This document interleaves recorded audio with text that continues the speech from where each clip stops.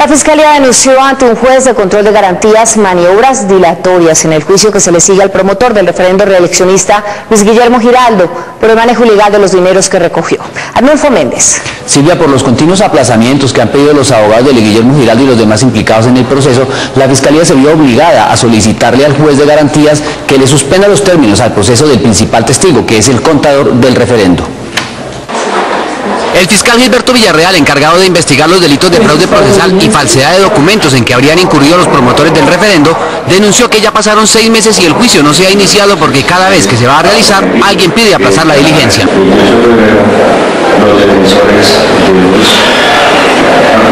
Habían solicitado la suspensión de la audiencia y se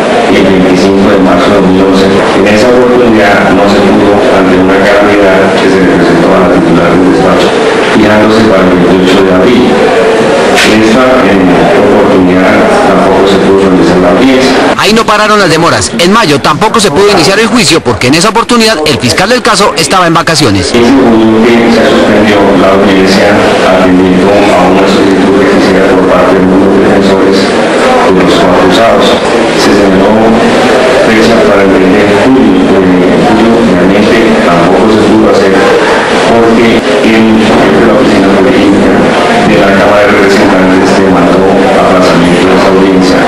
finalmente se nos ha convocado para el 5 de agosto. El juicio contra el promotor principal del referendo por la reelección, Luis Guillermo Giraldo, y los demás implicados ha afectado el proceso de colaboración con la justicia de Luis Fernando Useche, el contador del comité, y de Colombia Primero, el que supuestamente le prestó plata al comité. El señor ha prometido que declarará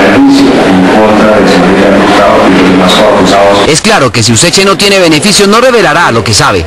Por eso el juez prorrogó, esta vez de manera indefinida, la suspensión de términos hasta que declare en el juicio, que por ahora está citado para el próximo 15 de agosto.